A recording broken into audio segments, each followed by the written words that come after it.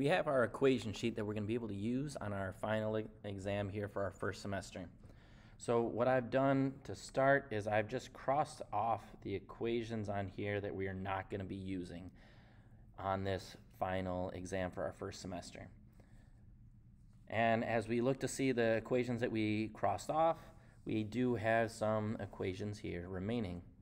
So when we have up here, this is getting to a question that might say how fast, and this one might say how far,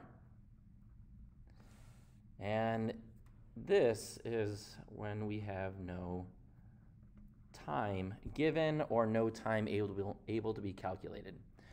These are going to be the three main kinematic equations.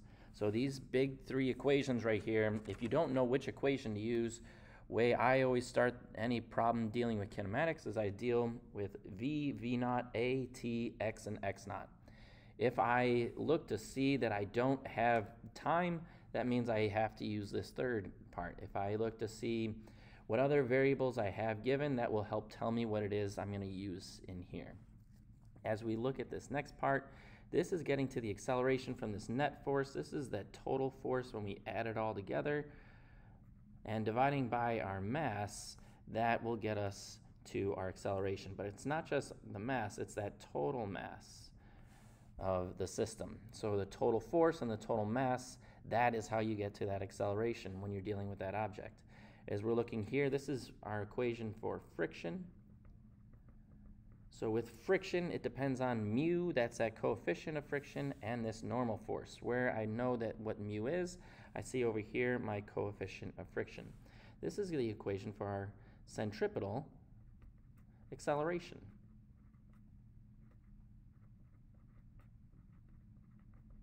So our centripetal acceleration is this v squared on r. And so recall it's centripetal because it's always pointed towards the center.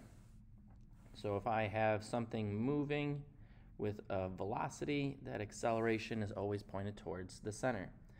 As we look continuing here, this is our moving energy, that kinetic energy.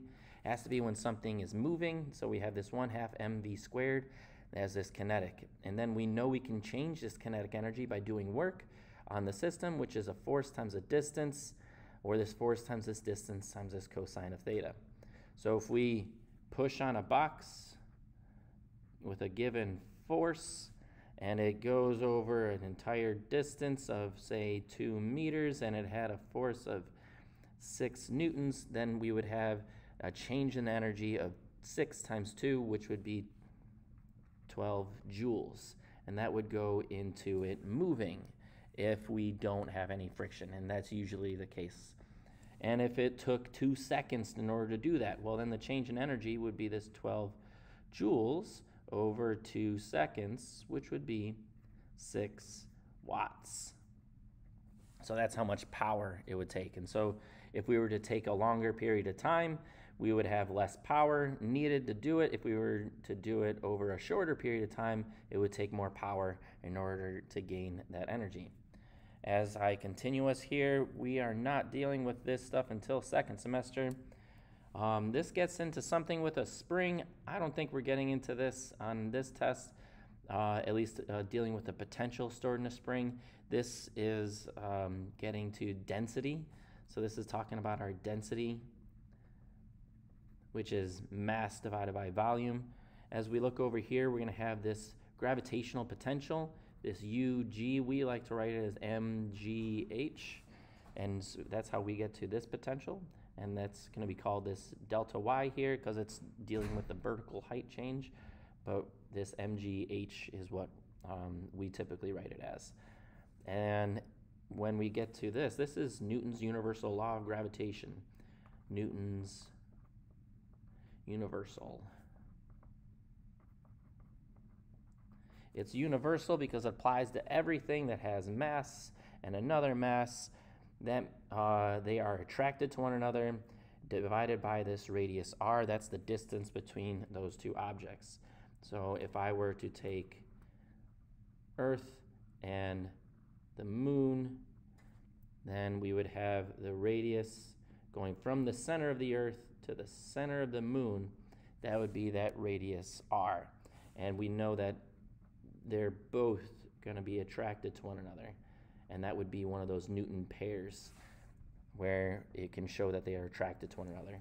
To get this g, we would take that force of gravity and divide out by your mass, and then we can find what g is. If we were to do this on any other planet, we could take the weight of an object and divide out its mass, and that will get us a g on any planet.